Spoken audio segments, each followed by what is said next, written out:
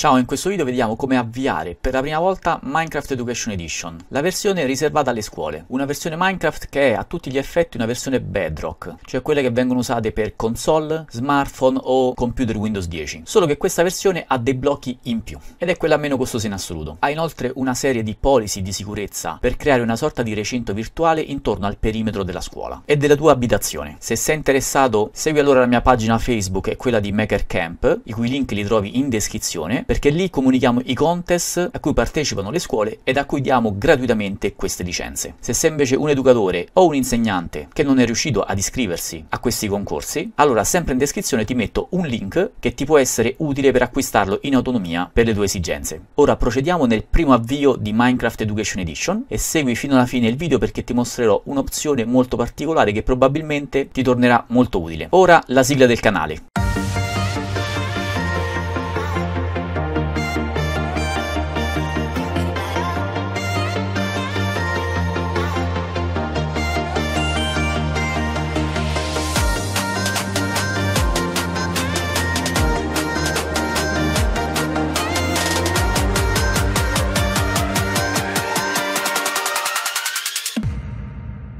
Ciao, sono Marco Vigilini, se questo è il primo video che segui sul mio canale, allora ti invito ad iscriverti cliccando sul pulsante iscriviti ed attiva tutte le notifiche cliccando anche sulla campanellina, in questo modo non perderai i miei prossimi video. Avviamo ora per la prima volta Minecraft Education Edition. Nel video precedente abbiamo completato l'installazione di Minecraft Education Edition, ora dobbiamo avviarlo. Se ti sei perso questo video, clicca nella scheda che ti sta comparendo adesso. Per il primo avvio dobbiamo cliccare il pulsante di Start e digitare Education.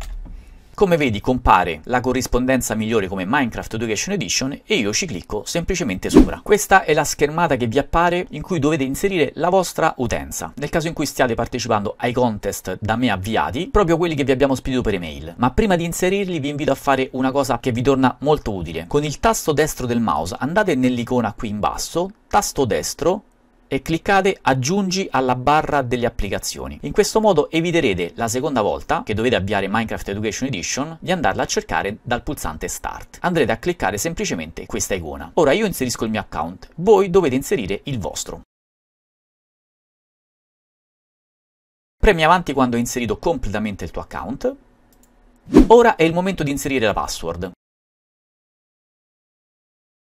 Clicca sul pulsante accedi ed ecco la prima schermata di Minecraft Education Edition sul vostro computer. Per chiudere Minecraft il tasto ESC e selezionate OK, oppure la X qui in alto e selezionate nuovamente OK. Poiché abbiamo messo la nostra icona in basso sulla barra delle applicazioni, noi ci clicchiamo e avviamo Minecraft Education Edition per la seconda volta. Nuovamente utenza e password. Che noia, ora vi faccio vedere un trucchetto che vi può tornare utile se pensate di avere lo stesso accesso con lo stesso computer. Inserisco adesso forse per l'ultima volta utenza e password